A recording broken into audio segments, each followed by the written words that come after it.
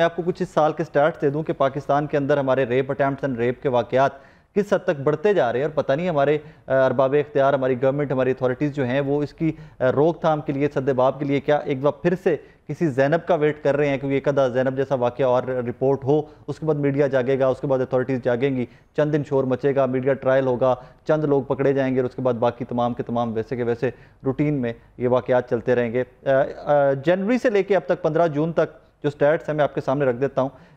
आज तक एक हज़ार तीन सौ नब्बे वाक़ात रिपोर्ट हुए हैं रेप के। ये हमारे इंटीरियर मिनिस्ट्री की वजारत दाखिला की रिपोर्ट है। वाक़ात में मुतासर लड़कों की तादाद नाइन फिफ्टी नाइन और लड़कियों की तादाद 431 है। ये बड़ा इंपॉर्टेंट पॉइंट है। मैं दोबारा से बताऊँ आपको कि लड़कों की जो रेप के विक्टम्स हैं, लड़कों की तादाद 959 और ख़वान की या बच्चियों की जो तादाद है, वो 431 है।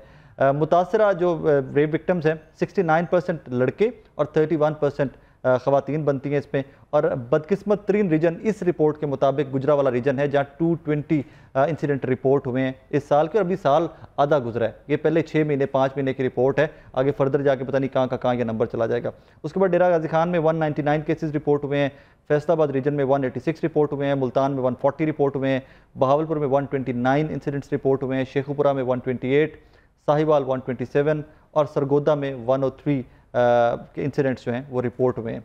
रावलपिंडी रीजन और लाहौर में लाहौर रीजन में 89 केसेस रिपोर्ट हुए हैं और बाकी रावलपिंडी रीजन में 69 केसेस रिपोर्ट हुए हैं। अदालतों में मुकदमात का सामना करने वाले मुजरमों में पचपन फ़ीसद मुतासरीन के पड़ोसी, बत्तीस फ़ीसद अजनबी और तेरह फ़ीसद रिश्तेदार थे। अब इसका थोड़ा सा कंपैरिजन बिफोर इट के मैं आगे चलूँ। थोड़ा सा कंपैरिजन 2022 की रिपोर्ट और जो स्टार्ट थे, उनसे कर लीजिए। 2022 में बच्चों पर जिनसी तशद के सबसे ज़्यादा वाक़ात पंजाब में रिपोर्ट हुए थे और 3000 प्लस इंसिडेंट थे, तीन हज़ार से ज़ायद वाक़ात रिपोर्ट हुए थे। और गुजशत बरस में मुल्क भर में चार हज़ार दो सौ तिरपन इंसिडेंट रिपोर्ट हुए थे, जिसमें से तीन हज़ार के करीब सिर्फ़ पंजाब में रिपोर्ट हुए थे। Like, you could say good seventy percent सिर्फ़ पंजाब में रिपोर्ट हुए थे। और जिनमें से दो हज़ार तीन सौ पच्चीस बच्चियाँ, जबकि एक हज़ार नौ सौ अट्ठाईस लड़के शामिल थे। लास्ट ईयर ये रेशो बच्चियों की ज़्यादा थी और इस साल जो अभी तक की रिपोर्ट्स हैं लड़के जो हैं वो ज़्यादा रेप विक्टम बने हैं। ऐसी एक अनफॉर्चुनेट सी अटैम्प्ट या ऐसी किस्म का एक घिनौना फेल या इसके लिए कोई भी आपको जो लफ्ज़ बेहतर लगता है, आप खुद से इस्तेमाल कर लीजिए। I be very honest with you कैमरे के सामने आके मैं बहुत सारी तहजीब का, बहुत सारे सोच समझ कर बोलना पड़ता है, लेकिन जिस, इस तरह की कोई स्टोरी मेरे कानों तक पहुँचती है, मेरी आँखों तक पहुँचती है तो मेरे मुँह से अजीब से अल्फाज निकलते हैं। अनफॉर्चुनेटली मैं वो कैमरे के ऊपर इस्तेमाल नहीं कर सकता। बहरहाल एक बच्ची इस किस्म की जिसका जो इसी ट्रामा से गुजरी है, अभी रिसेंटली दो दिन पहले एफआईआर हो गई है। एफ़ होने के बाद जनाब जो एलेज रेपिस्ट ही मैं तो कहूँगा जब अटैम्प्ट है तो मैं तो उसको कहता हूँ कि जी ये रेप ही था। जब आपने अटैम्प्ट ले ली तो यू डन इट कोई बड़ा मुकदरों वाला होगा जो आप इस तरह के जानवरों से बच जाएगा। तो एलेज रेपिस्ट जो है एक बहुत छोटी माइनर बच्ची, नौ दस साल की बच्ची के ऊपर अटैम्प्ट लेता है लाहौर के, नवाई इलाके के अंदर। और उसके बाद सारी कहानी क्या है, पूरा इंसिडेंट क्या है, मैं उसी बच्ची के ज़ुबानी आपको सुनाता हूँ। असल बेटे। आप ठीक हो? जी। अभी भी आप डरे हुए हो अभी भी आप खौफ में हो परेशान नहीं होना डरना नहीं है। मुझे बताओ उस दिन क्या हुआ था? वो मेरे मम्मा पापा वेले दूध चोने गए थे तो ना बाहर का दरवाज़ा खड़का तो मैंने जब बाहर का दरवाज़ा खोला ना तो एक अजनबी आदमी था तो मैंने आपने वो पहले नहीं देखा हुआ था गाँव में? नो। अच्छा ठीक है। तो फिर मैंने दरवाज़ा अंदर से कुंडी लगाने लगी इसने अंदर धक्का दिया और दरवाज़ा खोल के अंदर आ गया। और मुझे कहता है कि मुझे पानी पिला मैंने कहा मैंने नहीं पानी पिलाना मेरे मम्मा पापा घर नहीं है तुम चले जाओ। आगे से कहने लगा ये लो चीज़ ले लो ये लो चीज़ खा लेना। मैंने कहा मैंने नहीं लेनी मेरे मम्मा पापा मुझे मारेंगे। पैसे दे रहा था या चीज़ दे रहा था चीज़ थी। क्या था? कुछ देखा आपने? जी पापड़ थे। अच्छा पापड़ थे ओके। कहता ये लो ले लो खा लेना। मैंने कहा मैंने नहीं लेनी मेरे मम्मी पापा मुझे मारेंगे। फिर कहता कि वो ना ये वो फिर मेरे बालों से पकड़ कर मुझे अंदर कमरे में ले गया।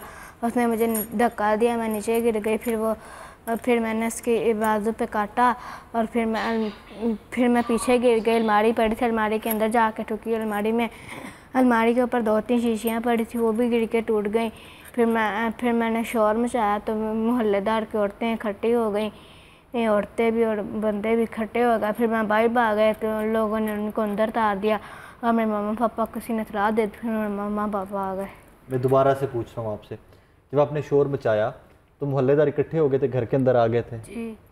वो मोहल्लेदार सारे बताएँगे कि ये बच्ची की वाकई चीखों की आवाज़ आई है इसने शोर मचाया और वो सारे हमारे आपके घर के अंदर आ गए आप ये बता रहे हो? अब आप, आपके सामने अगर वो बंदा जो है उसको आपके सामने लाए तो आप पहचान लोगे उसको?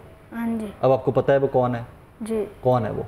नाम का नहीं पता वैसे उसकी शक्ल आपको याद है? कितनी उम्र होगी उसकी? उसकी पैंतालीस या पैंतालीस छियालीस साल होगी आपकी उम्र बेटे कितनी है? हाँ, मेरी नौ साल। क्या करते हो आप? कौन सी क्लास में? स्कूल जाते हो? जी। कौन सी क्लास में सिक्स क्लास। सिक्स क्लास में। जी। चल। अब ये एज इट इज़ मैंने आई वांटेड कि एज इट इज़ आपके पास जाए कि जी whatever the statement kid has whatever statement child has अब इसके पीछे क्या चल रहा है और इसके बाद इस फैमिली के साथ क्या हो रहा है उसकी तरफ़ मैं आता हूँ। चाचा जी क्या हाल है? आपका? खैरियत से आप? शुक्र है अल्लाह है। शुक्र है। पहले तो बड़े अफसोस का वाक्य है बेटियां सबकी एक सी होती है मेरी भी बेटी है ये जी। मेरी भी छोटी बहन है मेरी बेटी है ये जी। उस दिन क्या वाक्य क्या हुआ है जो आपको पता है जो क्योंकि आप तो घर पे नहीं थे बच्ची के मुताबिक उस दिन क्या हुआ है ਮੈਂ ਸਰ ਮੈਂ ਬਾਹਰ ਗਿਆ ਸੀ ਆਪਣੇ ਜਾਨਵਰਾਂ ਦਾ ਦੁੱਧ ਚੋਣ ਵਾਸਤੇ अच्छा ਜਿਸ ਟਾਈਮ ਮੈਨੂੰ ਉਹਨਾਂ ਇਤਲਾਹ ਦਿੱਤੀ ਤੇ ਮੈਂ ਦੌੜ ਕੇ ਘਰ ਆਇਆ ਤੇ ਮੈਨੂੰ ਪਤਾ ਲੱਗ ਜਦੋਂ ਮੈਂ ਇਹ ਬਕੂਆ ਜਿਹੜਾ ਨਾ ਮੈਨੂੰ ਉਹਨਾਂ ਨੇ ਦੱਸਿਆ ਤੇ ਸੁਣਿਆ ਤੁਹਾਨੂੰ ਕਿੰਨੇ ਦੱਸਿਆ ਆਪਕੋ ਮਹੱਲੇਦਾਰਾਂ ਨੇ। ਠੀਕ ਹੈ। ਉਹਨਾਂ ਨੇ ਜਾ ਕੇ ਇਤਲਾਹ ਕੀਤੀ ਕਿ ਫੌਰਨ ਘਰ ਵਾਪਸ ਆ ਜਾ। ਅੱਛਾ। ਜਦੋਂ ਮੈਂ ਘਰ ਪਹੁੰਚਿਆ ਤੇ ਸਰ ਅੱਗੋਂ ਮੇਰੇ ਵਾਸਤੇ ਕਿਆਮਤ ਦਾ ਸਮਾਂ ਸੀ। ਇੰਜੀ ਬਿਲਕੁਲ ਇੰਜੀ ਕਿਆਮਤ।